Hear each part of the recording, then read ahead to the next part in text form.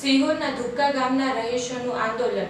તાલુકા કચેરી સામે આમરણ ઉપવાસ પર બેઠા પ્રાથમિક સુવિધાનું માંગ. ધ્રુક્કા ગામની સરકારશ્રી દ્વારા વિકાસના કામો માટે જે ગ્રાન્ટો ફાળવવામાં આવે તેનો યોગ્ય ઉપયોગ થતો નથી.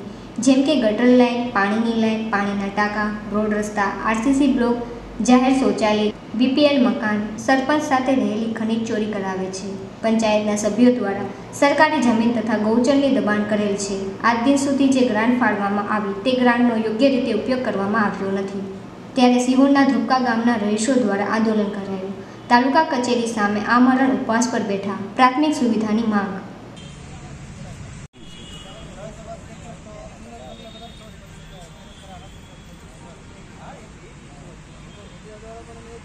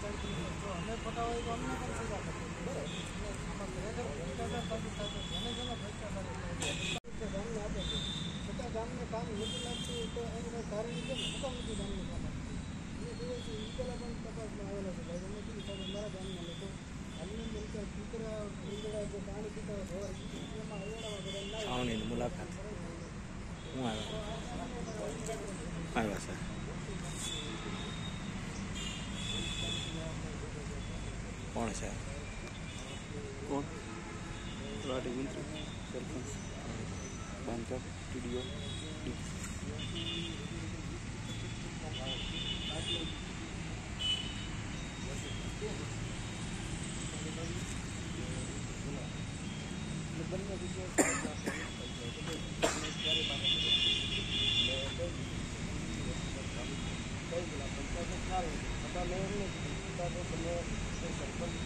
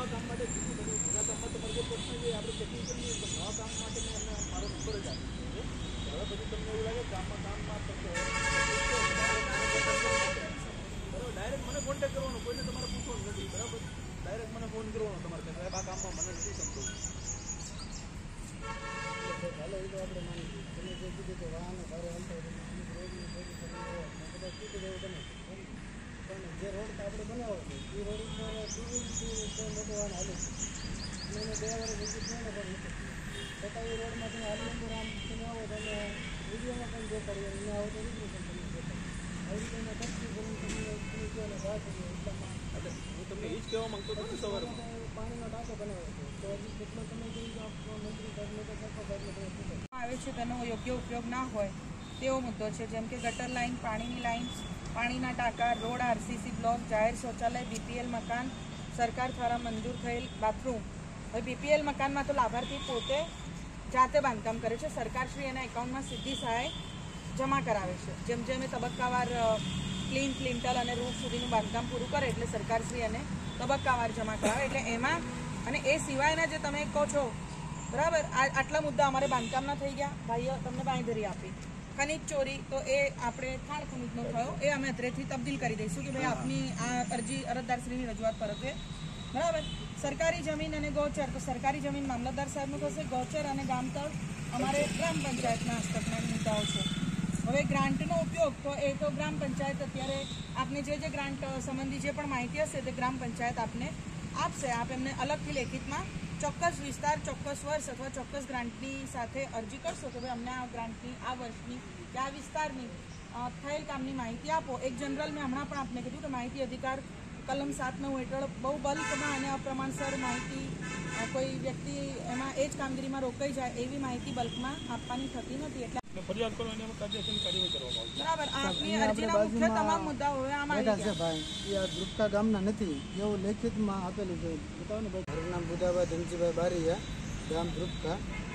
અને બે તારીખે આ સાહેબશ્રીને આપણે અમે અરજી આપેલી હતી કે અમારા ગામની અંદર જે કાંઈ ભ્રષ્ટાચાર થયા છે જે કાંઈ કામમાં ગેરરીતિ આચરેલી છે આપણે સરકારી નાણાંનો ગેરઉપયોગ કરેલો છે આ લોકોએ તો એની તાત્કાલિક તપાસ કરવા માટે અમે પંદર દિવસનું સાહેબને અમે અલ્ટિમેટમ આપેલું હતું. પંદર દિવસ કાલે પૂરા થઈ ગયા. કાલે પણ અમે સાહેબને મળવા આવ્યા હતા. કાલે પણ અમને કોઈ મળ્યું નથી અમે જવાબ લેવા માટે આવ્યા હતા.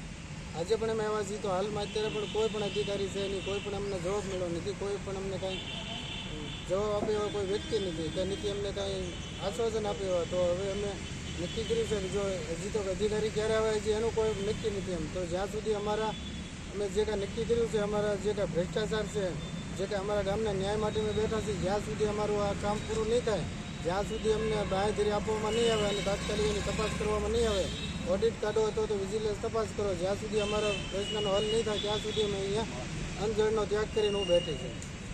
અમારી સાથે જે કાંઈ લાગતા વળગતા હશે જે કાંઈ અમને સપોર્ટ કરતા હશે એ લોકો પણ અમારી સાથે હશે તમારું નામ ને ગામ?